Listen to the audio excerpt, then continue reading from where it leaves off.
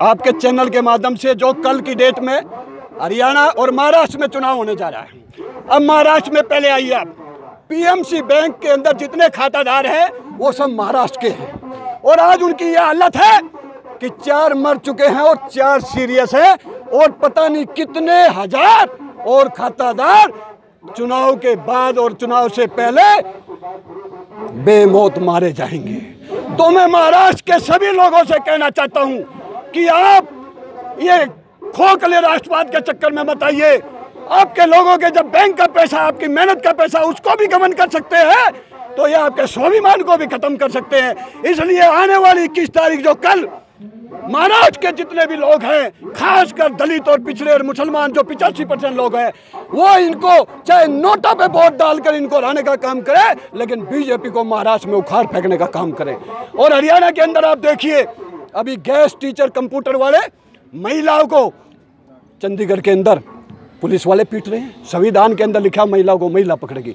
उत्तर प्रदेश के अंदर आप जाइए, चाहे वो गैस गैस टीचर हो, चाहे आंगनबाड़ी हो, जितने भी लोग प्रदर्शन करते हैं लखनऊ के अंदर, कोई ऐसा नहीं जो छः छः महीने तक उसकी टांग नहीं तोड़ दी जाती है। उसकी रीढ़ की हड्डी नहीं तोड़ दी जाती है। मैं योगी को कहना चाहता हूँ, बाबा साहब अंबेडकर ने एक कानून कानून बनाया था। कि महिला अगर प्रदर्शन करती है तो उसके लिए महिला आएगी। अगर आदमी प्रदर्शन करता है तो उसके लिए आदमी आएगा। लेकिन उत्तर प्रदेश के अंदर आप कल भी देख लीजिए और उससे पहले देख लीजिए 2017 से लेकर अब तक जितने भी प्रदर्शन हुए, उनको लाठी से उनको तोड़ने का काम किया। महिलाओं के बाल ठा ठा के पकड़ पकड़ के घिसट घिसट के, क्या दिखाना चाहते हो? ऐसा तो अंग्रेज़ों ने भी कभी नहीं किया जैसे योगी और मोदी की सरकार में हो रहा है। पच्चीस हज़ार होमगार्ड के परिवार खत्म कर दिए गए गैस टीचर कम से कम 11 लाख से ज़्यादा उनको ख़त्म कर दिया गया है। आप कहीं ना कहीं आप देखिए, किसान, जवान, व्यापारी, पूरे उत्तर प्रदेश, यानी बिहार के अंदर रियल इस्टेट ख़त्म। कहीं भी कोई सेक्टर ऐसा नहीं बचा जो कामयाब है। और जो हमारी सीतारमन जी है वित्त मंत्री जी, उनको ज्ञान ही नहीं है। उनको ज्ञान ही नहीं है नीति विभाग ये मांग रहा है कि भाई बताइए मैं कैसे करूँ?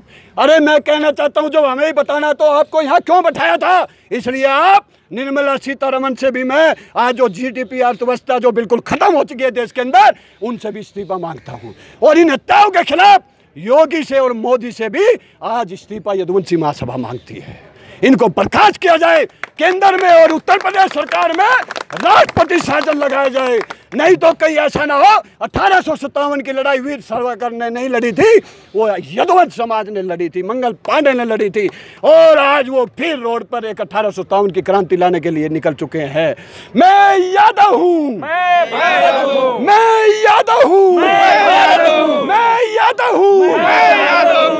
दलित पिछड़ा मुसलमान एकता जिंदाबाद। जिंदाबाद जिंदाबाद। दलित पिछड़ा मुसलमान एकता जिंदाबाद। जिंदाबाद जिंदाबाद। जिसकी जितनी संख्या बारी। उसकी इतनी हिस्सेदारी। अभी आप देखिए एनआरसी पूरे देश में एक माहौल बनाया हुआ है।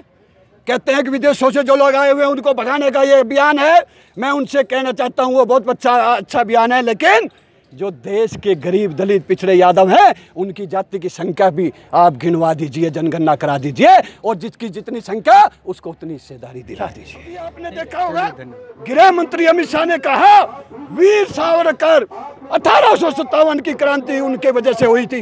वो बिल्कुल सरासर झूठ है वो तेईस मार्च उन्नीस सौ तिरासी को पैदा हुए और जो तिरासी को पैदा होता है वो अठारह की क्रांति कैसे ला सकता है? अठारह की क्रांति लाने वाले हाई यादव समाज के वीर, राव गोपाल देव, राव लाल, तुलाराम यादव ने शुरू किया था। उधर मंगल पांडे ने शुरू किया था, लक्ष्मीबाई ने शुरू किया था, और लक्ष्मीबाई की माँ जीजाबाई भी यदुवंश समाज से आती थी। उसको भी वीर बनाने का काम यदुवंशियों ने किया। आप सरासर जो अंग्रेज़ों के गुलाम थे, अंग्रेज़ों से माफ़ी मांगते थे, अंग्रेज़ों की गुलामी करते थे, और हमारा हक खोज कर उनको देते थे, आज उन्हीं को भारत रत्न दिया जाता है। भारत रत्न देना है तो आप भगत सिंह को दो, चंद्रशेखर को दो राव तुलाराम को दो, जिन्होंने देश के साथ अठारह सौ की लड़ाई लड़ी थी। लेकिन यह सरकार अंग्रेज़, ब्रिटिश, हिटलर सही रूल पे चल रही है। इसलिए देश की सभी 130 करोड़ जनता को मैं कहना चाहता हूँ, खासकर पिचासी परसेंट लोगों को, आप एकजुट हो जाइए। कोई नेता आपको बचाने वाला नहीं है, क्योंकि मोदी ने सबकी फ़ाइल बनाई हुई है। अगर इस देश के अंदर कोई क्रांति ला सकता है तो वो एक आम आदमी अन्ना हजारे की तरह दिल्ली आकर केंद्र सरकार को घेर सकता है।